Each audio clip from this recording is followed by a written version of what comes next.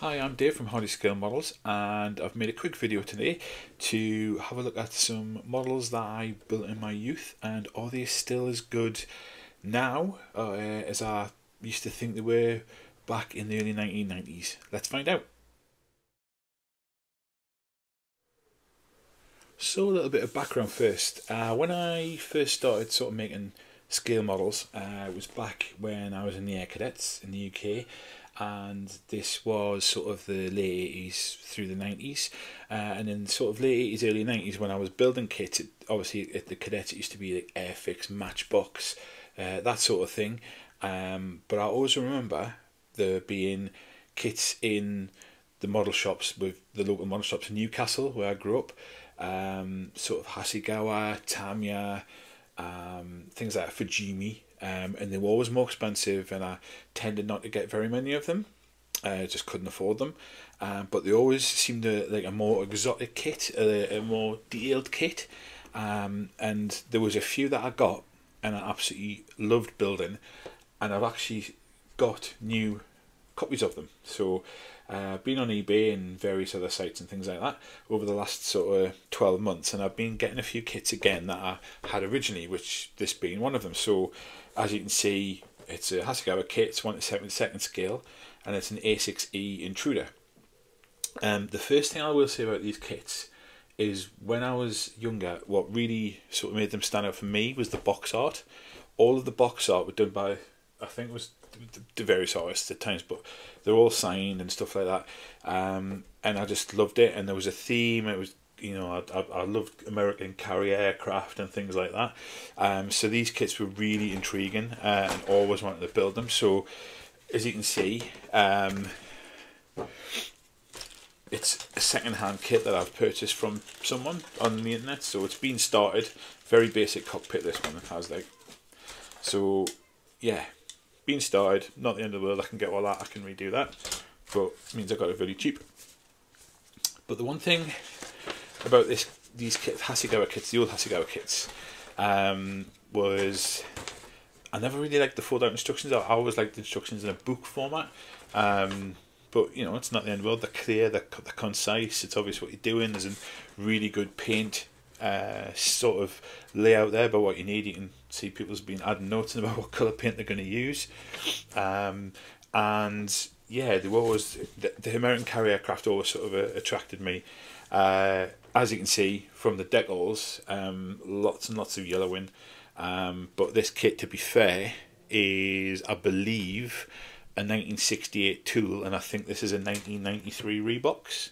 I believe. Um, again, someone started the painting the pilots there.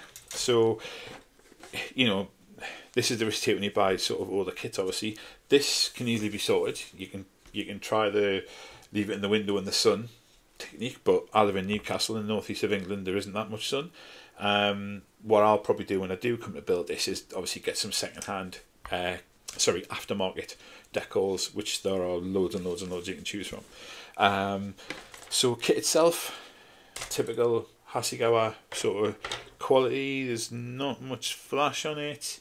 Um, a few ejector pin marks, but obviously, like I say, this is a very, this is a very old kit. Uh, it's a very old design. If it is, as I've looked it up, if it is 1968, it's the same age as my sister, and she's 55.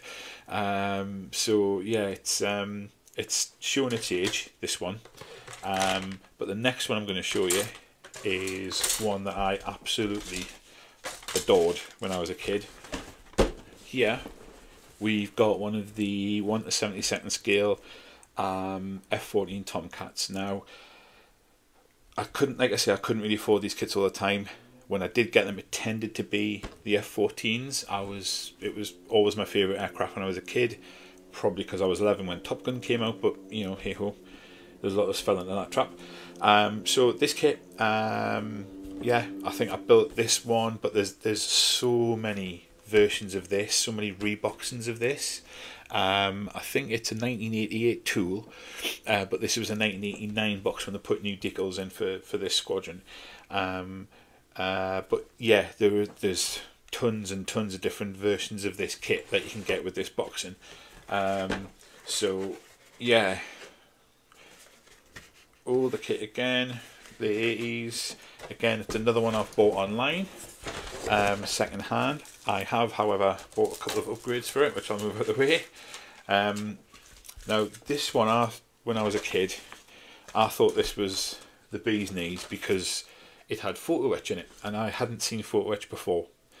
Um, so we're talking 1990, 1991. I hadn't really used it before.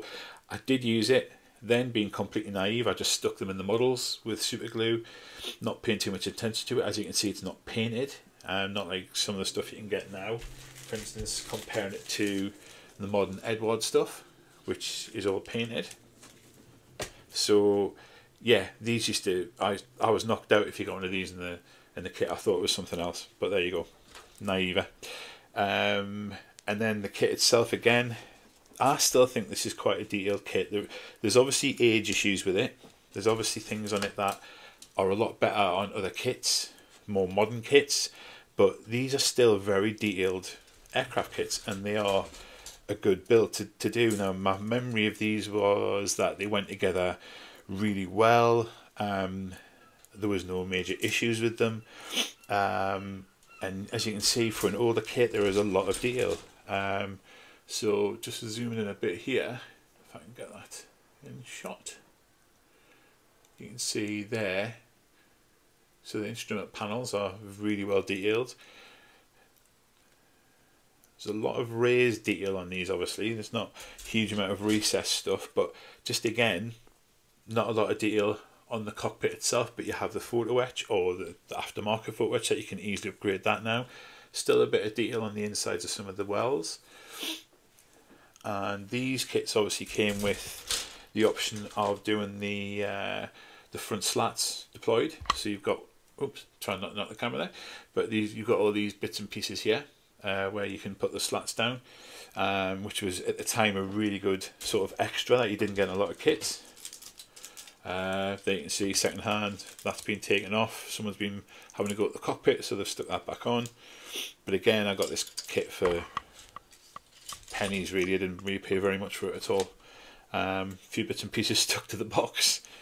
Um, and then the body itself. So there's the some recess panel details, very fine recess lines on there, which is actually quite nice because you don't want recess panel lines to be too deep because they just they just look completely out of scale.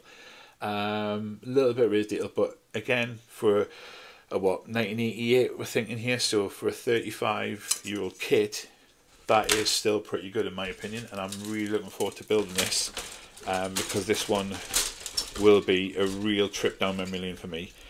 Um, I used to enter the competitions with the cadets when I was younger, uh, modern competitions, and I actually won one of the ones for the Northeast with one of these kits. Uh, about the only competition I've ever won in my life. Uh, but I still remember that. I was uh, a long time ago. So again, very similar decal, uh, decals, very similar uh, sheets. You've got the option of open or sort of narrowed down exhaust ports if you want to go for afterburners on or off. Um, it's got moving wings for the, the swept wings and stuff, and then that's where your photo etch comes in for uh, sort of bring more detail to the cockpit to the canopy. Sorry, I will say the canopy is not the greatest. Um, I've got a bit of repair work doing that. There's a horrible seam line right down the middle that I'll have to get rid of. Um, but that's, you know, like I say, it's a 40 year old kit. So there we go. And some resin wheels I've got for it. Okay, got the oldest one of the bunch today. Uh, I've got four kits and this is the third one. So this is an old EA6B Prowler. Now you can see straight away the box art is different. It's still done by the same guy. Um, but this is a, a, much older Hasegawa box. Um, so this one again, all of these, like I say, I've got off the internet. Now, I think if I'm being, if I've got these dates correct, this kit is actually the oldest. This is a 1979 tool, and I think it's a 1979 boxing as well.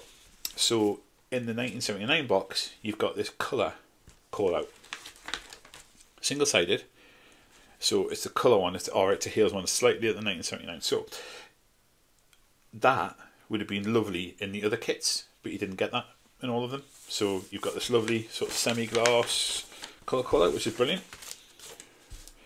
And instructions are slightly different. However, one thing that I do like about it, it's such a shame it's not in colour, but given the time scales, given the fact that these are well over 40 years old, it's not to be expected. But one thing I do like here is they actually give you a photograph of what the stage that you're doing should look like when it's finished, which I think is a really good touch because you've got some modelers who are novices who are just starting out in the hobby and things like that I think would actually be really cool in instructions. Now I know it produces production costs probably and you've got to think about different ways of doing things with the instructions but why not eh? um, again this one it's showing its age a little bit. I'll tell you what I'll just take the rattlers off because I am going to build this.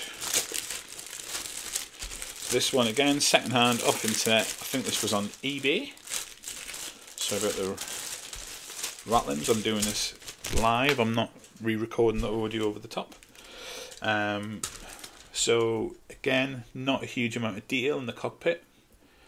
Just a little but again if you wanted to go to town with aftermarket there are aftermarket out here for all of these kits. Um, some really good Eduard stuff that which is I'll be honest where I tend to go to. Um, I'll not open this one because it's got the glass parts in it but you can see that you've got some smoked effect glass parts lots of nice deal again recessed pan lines not too deep I used to love this aircraft You've got lots of different bits there. Um, bombs, fuel tanks. Sorry, not bombs. It's not. It's not a bomber. Fuel tanks and ECM pods. Um, but again, recessed pan lines. Again, you can do sort of uh, steps for pilot steps. You can do those open ladders there. Again, details that you didn't tend to get on some of the sort of cheaper kits we did when when we were kids. That always attracted me to these kits. Finally, I've got this one so obviously not a carrier aircraft. Um, Hamleys, seven ninety nine. Yeah, okay. Uh, I don't even think you can get. I don't even think you can get an Airfix starter kit for seven eighty nine these days. But there you go. So this F sixteen C kit, it's one to forty eight scale. I think it's a nineteen eighty three tool, um, and this box was from nineteen eighty seven, I believe. Again, beautiful box art. Same guy. Um, box art on these. I think now with Hasegawa kits, you get an actual photograph of the aircraft on the front of the box, which I much prefer the box art. It just looks so much nicer. Again, absolutely bog standard Hasegawa decals um, with the callouts at the bottom for the paint and stuff. Um, I do remember building this kit and I remember making a complete pig's ear of these red and white striped decals, um, which I won't be doing when I do it again this time. Um, but again, yeah, again, there's a lot of yellowing on these. I'm not sure how sort of savable these are. Um, but again, when I come to build it, I'll probably do uh, some aftermarket decals. And again, a nice colour call out, which really helps you get exactly in your head how, how you're going to be doing it, especially if you're doing sort of your blending colours with an airbrush or anything like that. Um, and this one, I remember there being two yeah, that came off. That came off when I bought it 40 years ago as well. Um, so this one, bit more detail in the cockpit. Obviously, you've got a bigger scale, but again, nothing that you can't file down, put some aftermarket in if you were that way inclined. And we've also got the smoke effect canopy on this one, and a white and a basically a see-through canopy, a clear canopy, and a smoked effect one. So you've got two options there. Uh, Sparrow missiles, I believe. Oh, Hasegawa stamped inside the tail fin. Doesn't show on the other side, thankfully. Never noticed that when I built it when I was uh, younger. Um, so yeah, again, like lovely recessed rivet work there. And considering again, I believe this kit is 1983. So there you go, 40 years old, and that's got some.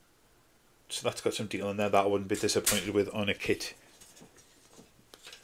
now, to be honest. And again, yeah,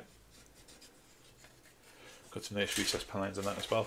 So, so there you are. Um, 40, 40 year old Hasegawa, Hasegawa kits.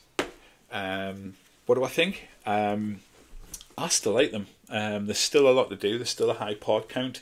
Um, there's still a lot of detail you can put in them. Um, and I think anybody getting these off the internet. You can get them quite cheap. Some some people do try and sell them for far too much money, but you can get them cheap.